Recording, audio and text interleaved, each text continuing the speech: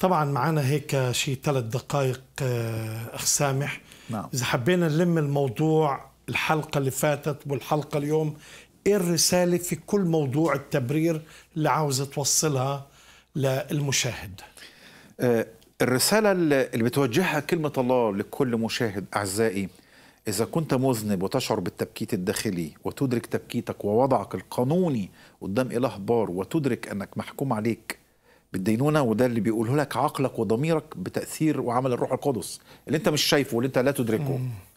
تعالى لله لأن الله عنده خبر صار ليك. الله القاضي سيبررك سيزيل خطاياك من حسابك تماما وسيضيف برا إلى حسابك لتصبح أمامه بار. فتتمتع بالسلام العميق وتتمتع بالرضا الإلهي ولك رجاء يقيني في المجد الأبدي. وإذا رفضت عزيزي أقول لك اللي بيقوله الكتاب. إذا استهزأت فأنت وحدك تتحمل لأن الله لا يريد إدانتك الله يريد تبريرك.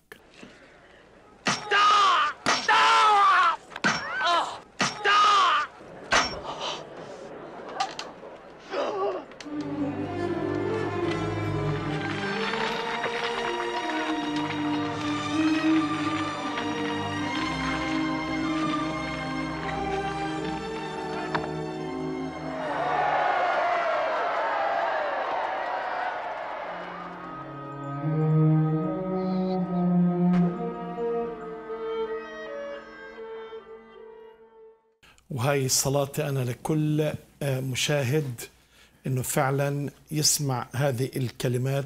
هل هل فيك تقود بكلمة صلاة؟ نعم. تفضل. أمين. أمين. يا ربنا يسوع شكرا ومجدا لجلالك يا رب من أجل التكلفة. تكلفة تبريرنا يا رب لتنقلنا من حالة الذنب إلى حالة البر.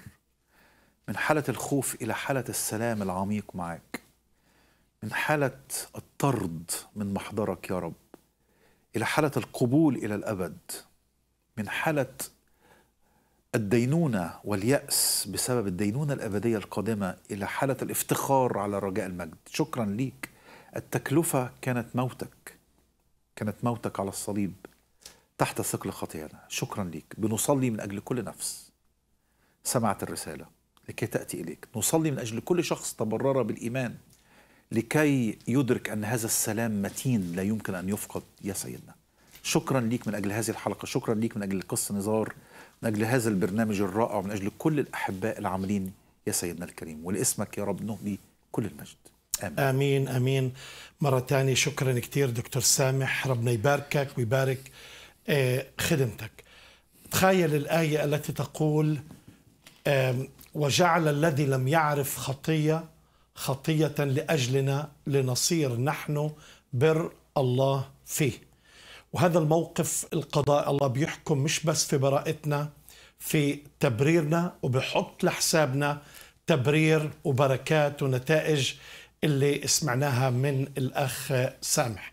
أنا بصلي من كل قلبي إنه هذا القرار يكون قرارك اليوم وتختبر هذا التبرير مثل العشار المكتوب عنه رجع إلى بيته مبررا دون ذاك. ربنا يباركك. إلى اللقاء.